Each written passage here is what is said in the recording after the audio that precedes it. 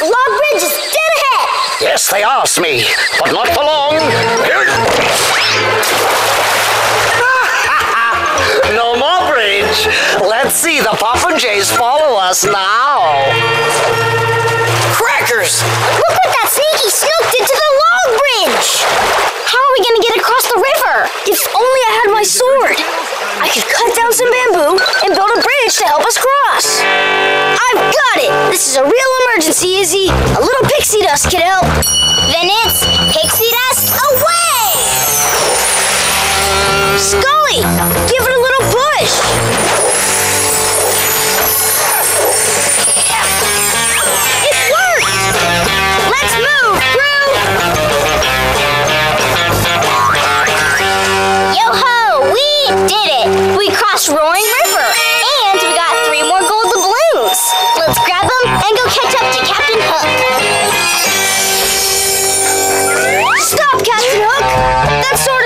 I'd like it back, please! Ha! You're too late, Pipsqueaks. I'm about to use your sword to open this door. Behold!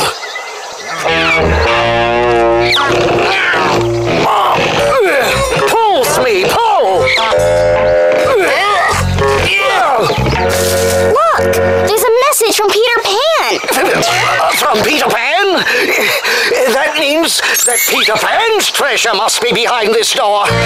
Read the message, read the message.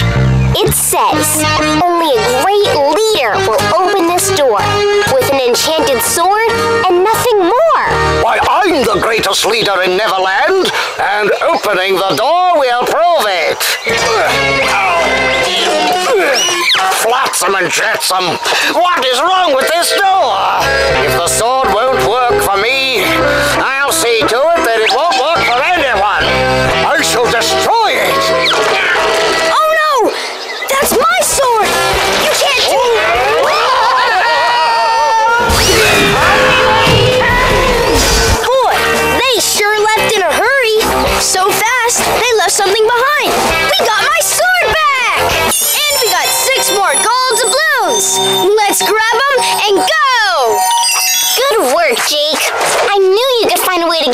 sword back. My sword is really special. Peter Pan gave it to me so I could be a good leader. And you are a good leader, Jake. You've got what it takes. In your heart. Peter would be proud of you. Peter! Let's see what surprise he left for us behind